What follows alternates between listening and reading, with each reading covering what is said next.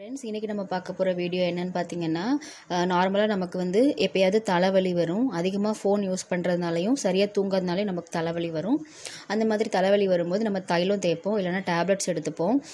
அதாவது மேக்ஸிமம் வந்து நமக்கு எந்த ஒரு பெயின் இருந்தாலுமே நம்ம டேப்லெட்டை வந்து அவாய்ட் பண்ணணும். அதான் நம்ம ஹெல்த்துக்கு நல்லது.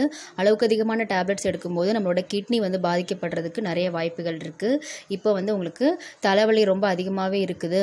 டேப்லெட் போடுற நிலமை அந்த மாதிரி இருந்துச்சுன்னா நம்ம வீட்டில் வீட்டிலேயே ரொம்ப ஒரு எளிய முறையில் தலைவலி எப்படி சரி பண்ணுறது அப்படின்னு தான் பார்க்க போகிறோம் இதுக்கு வந்து உங்களுக்கு அஞ்சு நிமிஷம் இந்த பண்ணுறதுக்கு அஞ்சு நிமிஷம் இருந்தாலே போதும். இப்போ வாங்க என்ன செய்யலான்னு பார்க்கலாம். ஒரு பாத்திரத்தில் தண்ணி எடுத்து அதை நல்லா கொதிக்க வைங்க. நல்லா வந்து கொதித்து ஆவி மேலே வர அளவுக்கு கொதிக்க வச்சு எடுத்துக்கலாம். பார்த்தீங்கன்னா நல்லா கொதித்து ஆவி வர ஆரம்பிச்சிட்டு இந்த ஸ்டேஜில் நல்லா ஆவி பிடிக்கணும் நம்ம.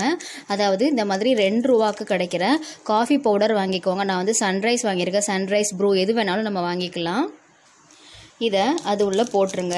போட்டுட்டு நல்லா கலந்து விட்டுட்டு ஆவி வந்து நமக்கு போகிறதுக்கு முன்னாடியே நம்ம என்ன செஞ்சிடணும் பார்த்தீங்கன்னா ஆவி பிடிச்சிடணும். இப்போ நீங்கள் ஒரு பெட்ஷீட்டை மூடிட்டு இதில் வந்து நல்லா ஆவி பிடிங்க. உங்களுக்கு வந்து அஞ்சு நிமிஷத்துலேயே தலைவலி சரியாயிரும்.